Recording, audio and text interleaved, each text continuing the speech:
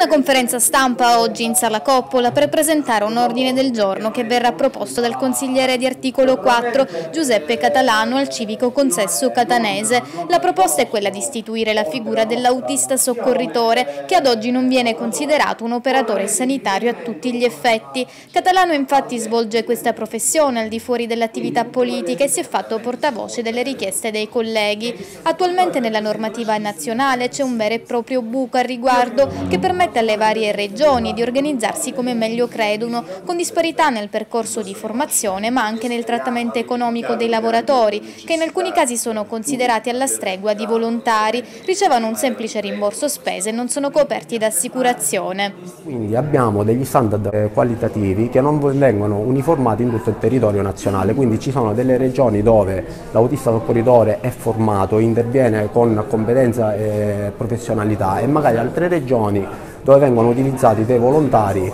che hanno fatto semplicemente un corso di primo soccorso. Eh, anche l'Europa impone all'Italia di adeguarsi alle altre nazioni, addirittura a breve partirà il 112, il numero europeo delle emergenze, non ci possiamo fare trovare impreparati davanti a questo evento. Già dal 2013 Stefano Casabianca, un autista soccorritore catanese, lotta per ottenere il riconoscimento della figura professionale, presentando petizioni agli organi europei e nazionali. Nel 2013 ho presentato quattro petizioni, di cui una online sul portale change.org, una al Parlamento europeo che sarà dichiarata ricevibile, quindi materia di competenza del Parlamento europeo, e due, una alla Camera dei Deputati e una al Senato della Repubblica.